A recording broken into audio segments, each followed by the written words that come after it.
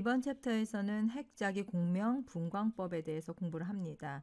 NMR이라고도 하는데요. 이 핵자기 공명 분광법 같은 경우에는 유기화학자들이 많이 사용하고 있는 기술들 중에 하나입니다. 왜냐하면 NMR을 통해서 화합물들의 탄소와 수소 관계, 그 뼈대를 알 수가 있기 때문에 굉장히 강력하고 어, 유용하게 사용되고 있는 분광법으로 알려져 있습니다.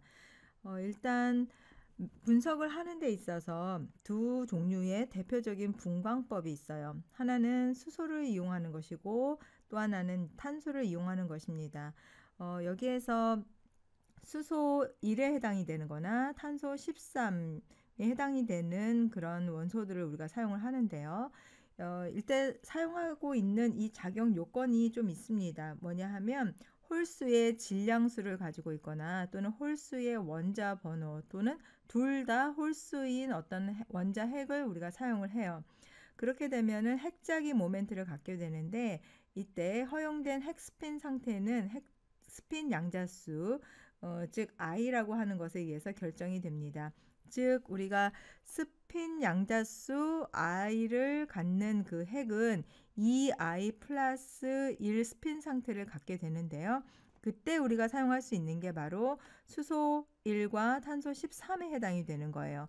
이 수소 1이나 탄소 13에 해당이 되는 것, 이 두 원소는 각각 2분의 1에 해당이 되는 그 핵스핀 양자수를 가지고 있습니다.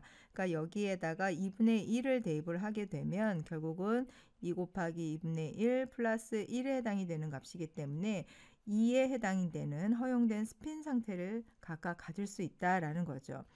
일단 여기에서 사용 가능한 어, 그래서 이제 핵스핀 상태를 갖고 있는 홀수에 해당이 되는 원소라든지 홀수의 질량수를 갖고 있는 것들은 수소라든지 수소 1, 탄소 13 또는 어, 수소 2에 해당이 되는 것도 가능하겠죠. 그다음에 질소 그리고 플로르 같은 경우 자 이런 것들은 가능합니다. 그런데 이제 비자기성 핵을 갖고 있는 것들이 있어요. 예를 들면 탄소 10이라든지 16산소 또는 32S 같은 경우에는 이런 것들은 비자기성 핵을 갖고 있기 때문에 유용하지 않다라고 볼 수가 있습니다. 음, 자, 그리고 핵이 양전하를 띠면서 여기에서 외부 자기장이라고 비로 표현되어 있는 이 외부 자기장하고 상호 이제 작용을 하게 되면서 이제 NMR 분광학의 표현이 되는 거죠. 이런 핵들은 양전하를 갖고 있고 이렇게 회전하는 핵은 작은 자석 같은 그런 행동을 하게 됩니다. 그래서 이 외부에서 주고 있는 자기장하고 서로 상호작용을 하게 되는 거죠. 그러면 양성자처럼 전하를 띤 입자가 내부의 축을 따라서 자전을 하면서 자기장을 일으키게 돼요. 근데 만약에 외부 자기장이 없게 된다라고 하면은 핵의 스핀이 이렇게 무작위적으로 배열을 하겠죠. A에 해당이 되는 것처럼.